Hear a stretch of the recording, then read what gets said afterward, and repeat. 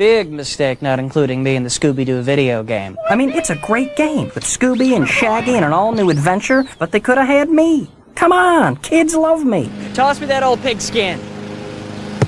Oh! Ready for everyone. Man!